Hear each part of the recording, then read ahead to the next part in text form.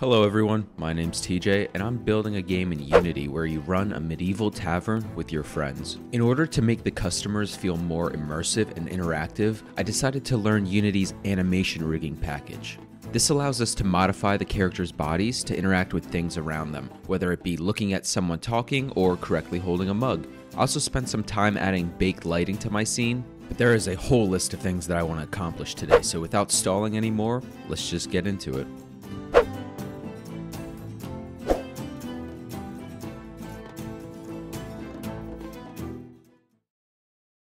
So to begin, I started with a very simple example of using animation rigging. Animation rigging allows me to deform the head and the neck bones of the character to look at the target instead of just staring forward in the way that the idle animation normally would. I then added a little logic to make the target match where the player is if the player is within 5 meters of the customer. Animation rigging can be applied to any bone in the character's body, so I also applied it to the hands our character doesn't carry the mug perfectly straight up in his standard carrying animation, so after tweaking the values a little bit, by turning animation rigging on, I can get that mug perfectly straight. Next, I wanted to redo the pathing of customers to use Unity's nav mesh agents. The previous system involved the customers going from node to node and I had to set it up for each specific seat and it's a very sloppy, over-engineered mess. So using nav mesh agents is a much cleaner way to make the customers pathfind to their seats. Here it is in action. Jesus. Okay, so here it actually is in action. You can see the customers walk around the table to get to their seated spots. If you want to see how the nav mesh is set up, uh, I use the obstacles to carve out a spot for the table, which tells them not to walk on the table until they get close enough to their seat. After that, I played a sitting animation for each customer, and after spending a little bit of time tweaking the position values along with their rotation, they're all sitting pretty nicely in their seats. After that, I combined our previous animation rigging tests that would allow the customer's heads to follow a target and set a specific target at the table. This target bounces back and forth at the table between randomly selected nodes that all the customers will focus on. This gives a neat effect that makes it look like the customers are all having a conversation between themselves. After that, I wanted to add a drinking animation, which at first looked a little off but after tweaking the values a little bit, uh, it's not perfect, but it's good enough for now. I then added this as a bit of an idle animation for when they're sitting at the table. But instead of this randomly playing on all of them, I only want it to be playing on the ones that are not speaking. I want there to be a different set of animations for the one that's speaking and the ones that are being spoken to. Uh, or as X more eloquently puts it. In a dialogue, there's the recipient and the, the dialogator. Great, so now that that's all cleared up, we now have our recipient and our dialogator. The dialogator, yeah, I can't even do this bit. But now the recipients have a handful of animations that they can show, such as uh, nodding their heads or just drinking. You can also see that I went from the previous number of eight different nodes down to only four, and I offset them so that it looks like they're speaking to the rest of the table. I also used animation rigging to fix their left hand and now make sure it's above the surface of the table. And finally, here you can see it working in the tavern. Uh, I'll just let a short little demo of it play they will play their animations depending on whether they are speaking or being spoken to. I will switch back and forth. They won't start their animations uh, until their last one has finished, and it just cycles through a random list that I put together.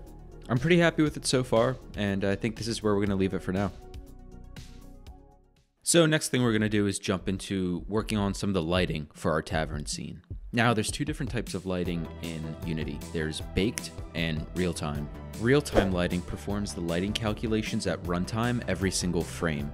This is useful for lighting and casting shadows on characters or any sort of movable geometry, but there's a downside in which it's very heavy on your GPU, especially in very complex scenes. So the alternative is to have Unity use baked lighting, which bakes the lighting in the editor and then saves the results to the disk. So then at runtime, Unity will then load the baked light data as a texture.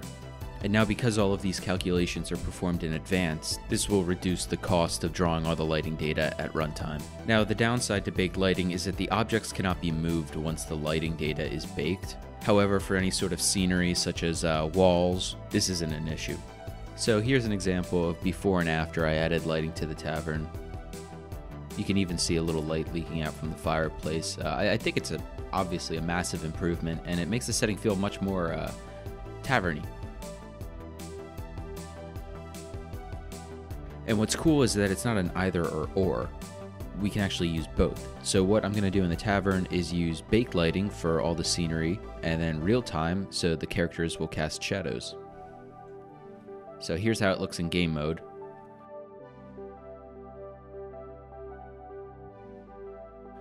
Oh, yeah, so let me explain the line. I added a line for the customers to queue into.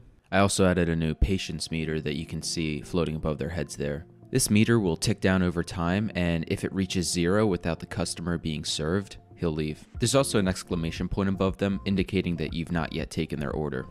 I also added a slight outline effect to them and cleaned up their order canvas a little bit. It now disappears a few seconds after being called on. You can always call on them again to bring it back up. I've also made a change that allows three separate customers to be up at the bar to kind of mimic the feeling of a real bar a little more than just a single person being waited on. But because of this, I'm going to have to redo the mechanic of placing down the order. So I rewrote the code to give it directly to them. So you're now able to directly interact with the customer and gently place down their order in front of them. Next, I wanted to add some variety to the idle animation so the customers don't all look like clones standing next to each other.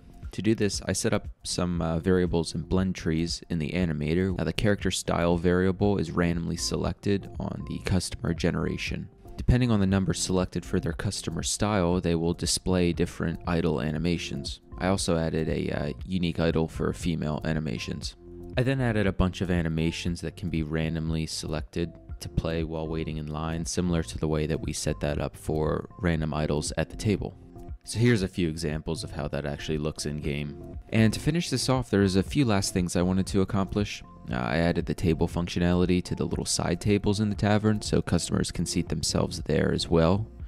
I also put a timer on the customers so that once they finish their meal, they'll get up and leave, opening up the seat for the next one. And that about does it for a customer overhaul so far. It's not a whole lot I still want to add. Uh, maybe eventually I'll set up uh, some functionality so that you have regulars that show up every night. But, uh, you know, there's so many other systems that I need to work on in the game right now that anything past this point feels like unnecessary polish. Although it was fun to try to focus on one core component, uh, I think the next devlog will be a little more well rounded, where I try to accomplish a, a uh, bunch of little systems. Again, if you've enjoyed any part of this video, a like would be super impactful. I am just starting out here, so likes and subs make a pretty big difference. I do want to say thank you though to everyone that has joined so far. If you've got cool ideas about the game or uh, just want to discuss games in general, link to the Discord is down below. You can come by and hang out. But anyways, thank you again for watching. Have a great day. I'll see you in the next one.